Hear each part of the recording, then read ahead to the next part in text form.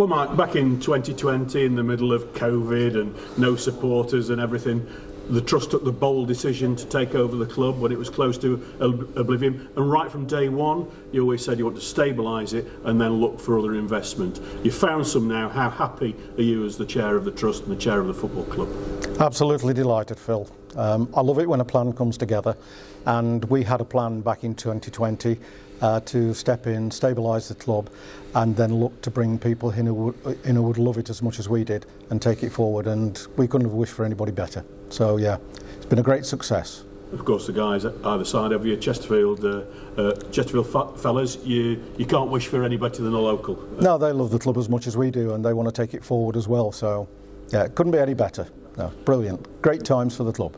Well, Ash, you, you've, you've been sort of rolling your sleeves up on a, a day-to-day yep. basis for what 18 months or so. Uh, have have you fallen in love with a club more than you possibly expected to? Yeah, uh, yes, I think that's safe to say. Yeah, the uh, the people uh, won't make any organisation anyway, and it's not, so I, I'm very lucky that I get to spend time with the people inside the football club. Now, not just Paul and, and Danny and, and Gary and, and that and the players. I, I, it's the the staff as well, and it they're what makes this place you know tick. They're, they're a special group of people. It's so good for them to be having the season that we're having, and and it's you know it's just reward for all the hard work that they do. And does the season that Chesterfield are having the, this season so far, does it help to galvanise and bring everybody together? Is it is well, it easy when things are going well? It doesn't do any harm.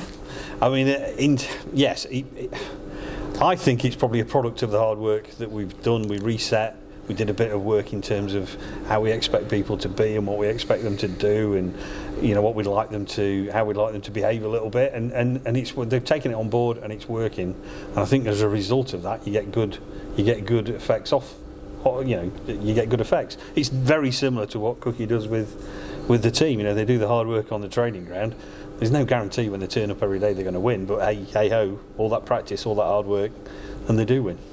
Well, shareholders, Phil, were given a, a, lot of words about what all the resolutions were tonight. In, in short, what does it mean in plain, simple English has, has happened at the club?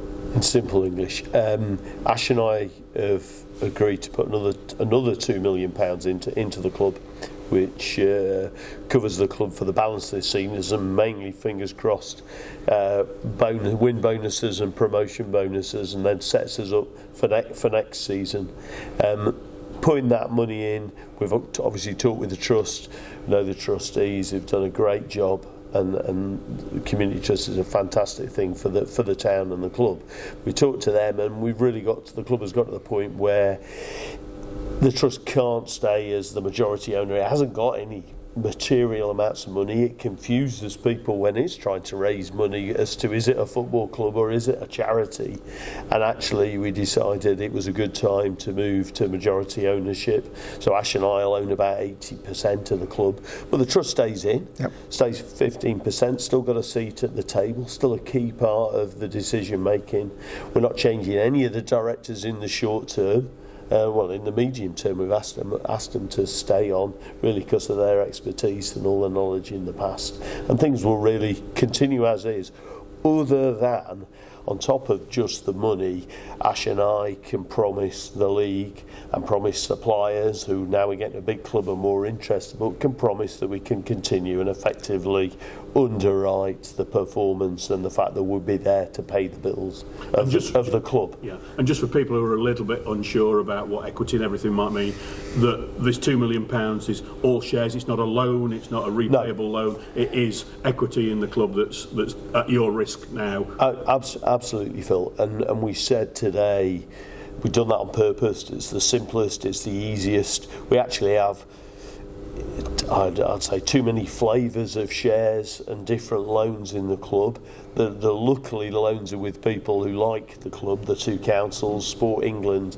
But over time we will look to simplify that mm. and reduce that we don't need uh, and reduce levels of debt. Simplify how the club looks to the outside world, which I think with the new football regulator, if we are fingers crossed, touch wood, uh, move, moving up, moving up into the into the into the EFL, nearly there, or we even ever go into into higher leagues. Uh, I think it would be a good thing to have that additional transparency on the, on the structure.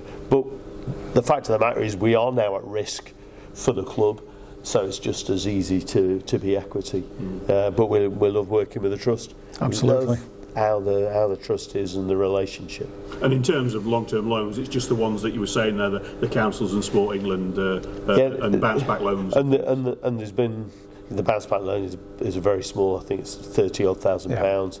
Sport England is one point two million pounds, but it's twenty years and two percent. The two councils, after some years of of, of not paying, not making capital repayments, they said the, the, we, the club can have a holiday. We have reached, we started paying those, and we're actually up to date and on time, which is helping the councils.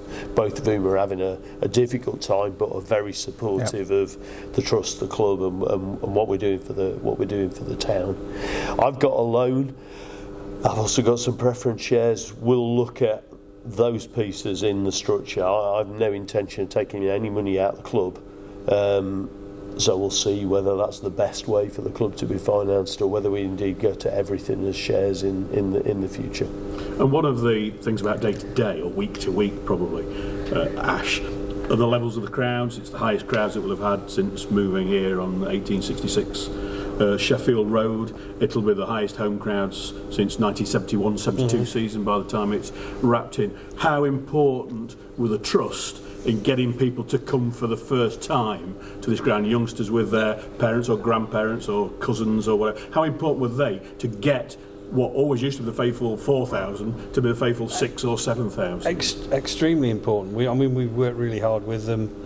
Uh, every game, they get 500 tickets, at, you know, which they're able to then pass on to people who probably couldn't, you know, not as fortunate as, as the three of us, four of us. You know, uh, they can pass on to to give them an entry. They can come to the football, and I I know. Uh, actually, in fact, I had a text today from a, a headmaster of a school uh, that we gave tickets to, whose grandparents have now taken them to every game since. Uh, and they get very little parental, you know, it's, it's a difficult uh, background, but, you know, they're, they're, they're, they've got pride in themselves, they've got pride in the club, it gives them pride in the town, and it, it gives them a sense of belonging, and it's, it's been really important. It's not just getting people in in the ground, it's, it's what actually a football club can do to an individual. Uh, and when a football club is successful, like we're doing, it is what it does to an entire community. Yeah. You know, it's, it's an amazing thing, isn't it? You, you, walking around, you're seeing little kids in Chesterfield kits and all excited with the players, and, and people are talking about it everywhere. And, and the more we engage with all sections of society, whether the ones who can afford it, great, please come, please come and have a great time, spend your money. And the ones who can't, we don't want them to miss out. So we're going to continue supporting that. And, and, and Mike, is that the greatest legacy of the trust that you come now and you see hundreds and hundreds of children at every match, boys and girls, and you know the last few years at, at Saltergate, if you saw anyone under 62, you, you, you thought something was, was up. It's fantastic. I think we're a true family club now. Mm. You've got a lot of ladies coming and a lot of children coming along with the, the guys as well.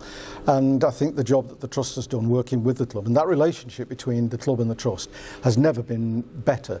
When we first took over, or when I first came down to the Trust, the relationship was non existent, to be perfectly honest. Now it's integral and we work very hard. I mean, the, the the club are brilliant with the trust. They give us 500 tickets, as Ash said, and we can go into, you know, areas where people can't afford to come to the game, and we can offer them that facility to come, and that builds then um, on week on week, and you know, it's great. They're, they're supporters of the future. Phil, you came here to put a few quid in to build the bar. What went right, or was it wrong? what went right? I think we're very. I've, oh, sorry, we're all. Where do you we're start? All, we're all. Where do, where do you start? It, it's been a great. It is. We're on a great journey.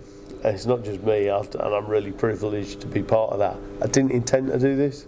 I didn't intend to own a football club. There is only one football club I could possibly ever own, and, and that's and that's Chesterfield, and it's a town, but everybody knows knows what I mean. And so as I look back, it's great. My wife, my family are, f- are fully vested in it. I think that's the right word, and fully, and fully supportive. Um, we'll see where we go. Uh, it probably stops me getting another job. But hey, but until my brother has had enough of me interfering and Mike has. Uh, but no, Yeah, I'm li- living it, Phil. I mean, who could not find this a great privilege? Um, absolutely. To do what to do what we're doing, to be part of what Paul and the team and the back office staff are, are, are achieving. What a privilege!